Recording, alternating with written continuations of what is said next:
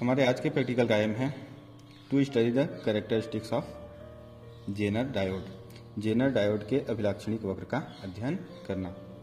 इसके लिए हम देख लेते हैं एपरेटस इस एपरेटस में गिवन है एक वोल्ट मीटर एक मिली एमीटर और एक जेनर डायोड जिसमें ये टर्मिनल पॉजिटिव टर्मिनल है और ये टर्मिनल नेगेटिव टर्मिनल है। यहाँ पे एक वेरिएबल गिवन है, जिसके थ्रू हम वोल्टेज सेट करते हैं और डिफरेंट डिफरेंट वोल्टेज पर करंट गेन करते हैं। जेनर डायोड में हम फॉरवर्ड बायस और रिवर्स बायस दोनों में रीडिंग लेते हैं। फॉरवर्ड बायस के लिए हम इस स्विच को फॉरवर्ड पे सेट करते हैं। सिमिलर वोल्ट मीटर में भी हम इसको फॉरवर्ड पे सेट करेंगे और मिली एमीटर पे भी। मिली एमीटर के लिए जो फॉरवर्ड बायस की जो रेंज है, वो टेन मिली एम्पियर है। जो कि यहाँ से ज़ीरो से टेन तक गिवन है। सिमिलर वोल्ट मीटर के लिए जो फॉरवर्ड बायस की रेंज है, वो वन वोल्ट है कि यहाँ पे गिवन है। अब रिवर्स बायस में सेट करने के लिए हम इस स्विच को रिवर्स बायस पे सेट करेंगे। सिमिलर ये भी स्विच और इस स्विच को भी रिवर्स बायस में सेट करेंगे। रिवर्स बायस के लिए इनकी जो रेंज होगी मिली एमीटर की रेंज 5 मिली एम्पियर होती है और वोल्ट मीटर 10 वोल्ट तक की रेंज शो करता है। अब हम कनेक्शन देख लेते हैं। तो सबसे पहले वोल्ट मीटर को हम बैटरी के साथ पैरेलल कनेक्ट कर देते हैं।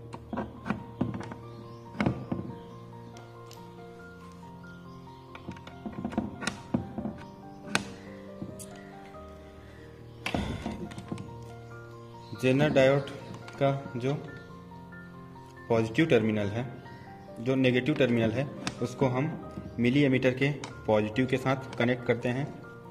और मिली एमीटर का जो नेगेटिव है, वो बैटरी के नेगेटिव के साथ कनेक्ट करते हैं।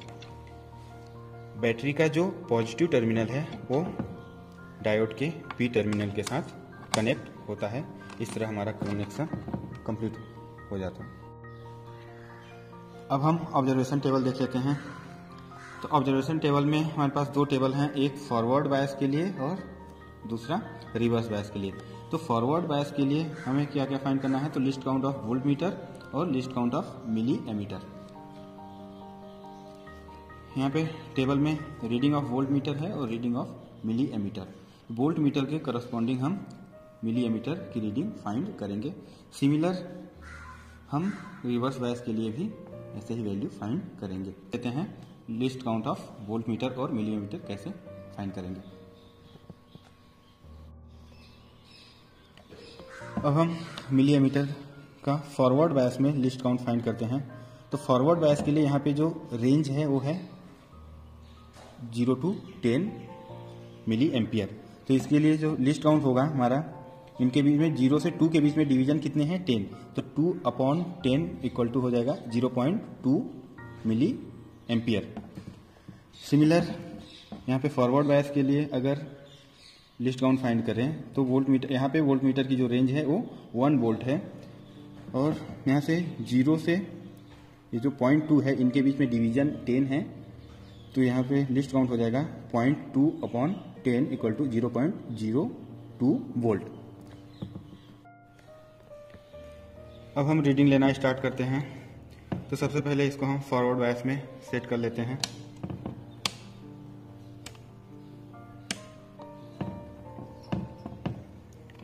अब इस वेरिएबल के थ्रू हम वोल्टेज सेट करेंगे और उसके करस्पॉन्डिंग करंट गेन करेंगे। तो सबसे पहले हम फाइव डिवीज़न मूव करेंगे। फाइव डिवीज़न जैसे ही यहाँ पे हम मूव करते हैं तो हमारा जो वोल्टेज है वो ज़ीरो पॉइंट वन पर चला गया। इसके करस्पॉन्डिंग 0.1 के करस्पॉन्डिंग हमारे पास जो करंट है, वो ज़ीरो है।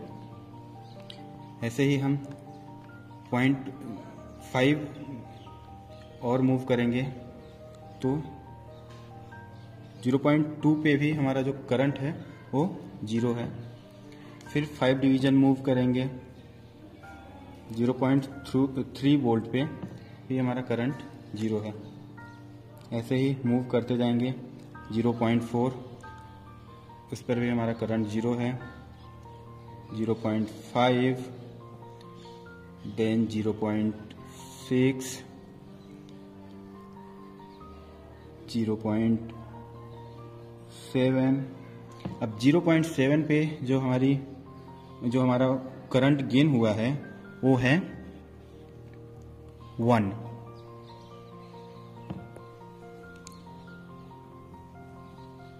देन मूव करेंगे।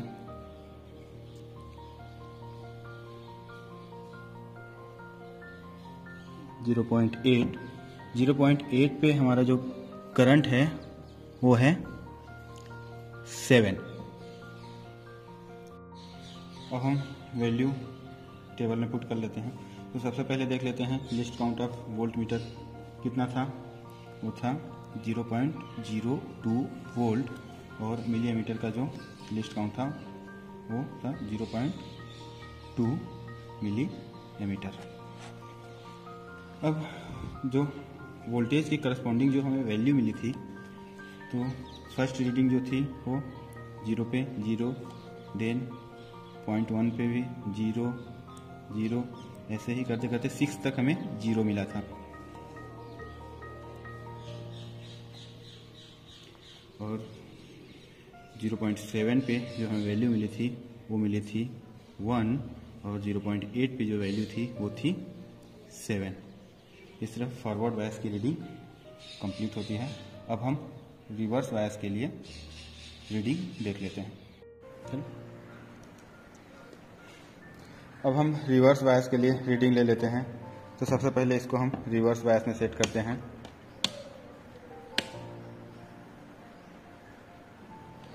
रिवर्स बायस में सेट करने के बाद हमारा लिस्ट काउंट जो है चेंज हो जाएगा। अब जो लिस्ट काउंट है वोल्ट मीटर के लिए नीचे वाली रीडिंग होगी। तो यहाँ पे अगर लिस्ट काउंट फाइंड करना चाहें तो इनकी वैल्यू जो है टू है और total number of division ten है। तो इसका जो लिस्ट काउंट हो जाएगा, वो हो जाएगा zero point two volt similar यहाँ पे मिली एमीटर की लिस्ट काउंट की बात करें तो यहाँ पे मिली एमीटर का जो लिस्ट काउंट हो जाएगा, वो हो जाएगा zero point one milli ampere अब हम रीडिंग लेना स्टार्ट करते हैं। इस वेरिएबल के थ्रू हम फाइव फाइव डिवीज़न के डिफरेंस पे करंट गेन करेंगे। तो फ़र्स्ट फाइव डिवीज़न मूव किया तो वन वोल्ट हुआ वन वोल्ट पे हमें करंट ज़ीरो मिला है। Then two volt three volt पे भी ज़ीरो है। फोर वोल्ट फाइव वोल्ट पे भी हमें ज़ीरो करंट मिला है। सिक्स वोल्ट सिक्स वोल्ट पे भी ज़ीरो है। सिक्स वोल्ट के बाद जैसे ही हम मूव करेंगे, सिक्स पॉइंट टू पे, सिक्स पॉइंट टू पे हमें जो वैल्यू मिली है, वो मिली है वन मिली एम्पियर। देन आगे मूव करेंगे। अब 6.2 के आगे वोल्टेज कांस्टेंट हो गया है। इसके बाद हमें मूव कोई भी वोल्टेज चेंजेस नहीं हो रहा है। और उसके करस्पॉन्डिंग हमें जो करंट मिला है 6.2 पे अगेन वो है 2 मिली एम्पियर और फिर आगे जब मूव करेंगे तो 6.2 पे ही हमें 3 एम्पियर करंट गेन हुआ है। अब हम ये वैल्यू टेबल में नोट डाउन कर लेते हैं। अब हम टेबल में वैल्यू पुट कर लेते हैं। सबसे पहले देख लेते हैं least count of volt meter जो भी था 0.2 volt least count of milli ammeter जो zero point one milli ampere. अब जो हमने रीडिंग ली थी फ़र्स्ट थी zero one two three four five six. फिर सिक्स पॉइंट टू पे वोल्टेज कांस्टेंट हो गया था, जिसमें हमने रीडिंग ली थी six point two six point two and then six point two अब जो हमें करंट गेन मिले था, मिला था करंट गेन हुआ था, वो था ज़ीरो पे ज़ीरो वन पे ज़ीरो टू पे भी zero zero zero zero zero six point two पे हमें करंट गेन हुआ था, जो कि था one then two then three इस तरह हमें वोल्टेज के करस्पॉन्डिंग करंट गेन हुआ है। अब हम इनके बीच में ग्राफ प्लॉट करेंगे वोल्टेज और करंट के बीच में। इसमें जो वोल्टेज है, वो एक्स एक्सेस पे होगा और करंट वाई एक्सेस पे।